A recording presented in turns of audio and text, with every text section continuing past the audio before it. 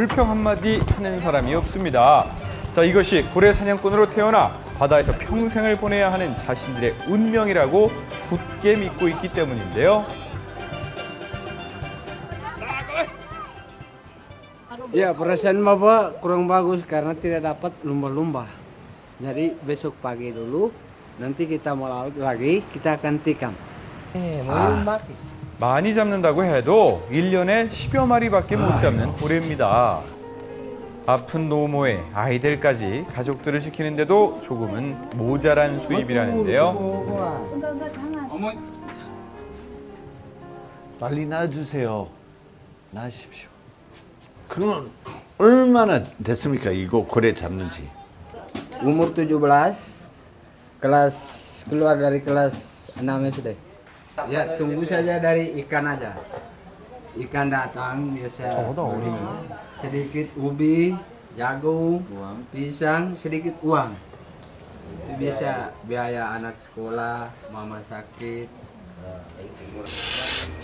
이 척박한 땅의 청량한 바다, 마을에서 할 수 있는 건 고래잡이밖에 없습니다. 예. 그걸 알기에 오. 자 국제 식량 농업 기구에서 dengan hidup dari ikan paus. Jadi darah alhamdulillah, darah orang Melayu itu darah ikan paus, daging orang Melayu daging ikan paus, kulit orang Melayu kulit ikan paus. Bagi orang Melayu ikan paus adalah nenek moyang kita punya. 네. Kita punya nenek moyang. 자 욕심이 아닌 생존을 위해서 목숨을 건 싸움을 해야 하는 사람들. lumba-lumba. lumba-lumba. Nah, yang tadi tikam itu ini, dia punya daging sudah dimasak. Ini kulit, kulit keras. Ini daging lembut. 흰 거는 껍질이래요. 귀하디 귀한 고래고기를 선뜻 내어줬는데요. 무슨 맛일까요? Enak. 있어요? 맛있네요. 이거 무슨 육포 비슷한 맛인데. 이거 물고기하고 맛이 완전히 달라요. 아하. 오케이. 자 이제 껍질. 이거 어떻게 먹어요 이거? 낙지 볶음 먹었을 때 처음으로 먹었을 때 비슷한 느낌인데 이빨이 들어가니까 쫑쫑쫑쫑쫑 계속 하는 거예요.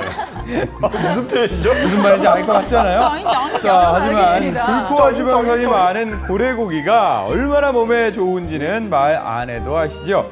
그렇게 치열했던 하루가 지나고요. 칠흑 같은 어둠이 찾아왔습니다. 너무 어두우니까.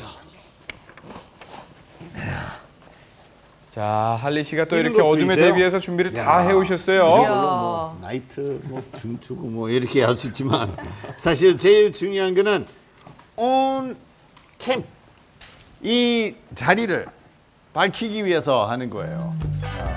하지만 어둠만 밝히는 건 또 아니죠. 진짜 편안하다. 이 분위기에 음악까지 깔아주시면 여기가 바로 지상 낙원 아니겠습니까? So I hate you. So I. 아 이거 뭐야 이거? 목이 자, 들어왔어요? 불청객이 찾아와도 무기가. 별이 이렇게 다 있네요. 야 죽였어. 야. 그저 완벽하게 신나기만 하는. 야생으로의 도전. 어머 어머 어머. 모기장을 아니 몇 찾아서 마리가 있나 여기? 왜 이렇게 많이 들어왔어? 인도네시아 라마레라에서 펼쳐지는 로버트 할리의 좌충우돌 야생 도전기 다음 주에도 계속됩니다. 예, 네. 자, 첫 번째 출항에는 이 고래잡이 실패를 했는데요. 하지만 요즘 어, 로버트 할리 씨가 새로운 또 기술을 배우고 계십니다. 어, 바로? 이 배 위에서 던지는 작살.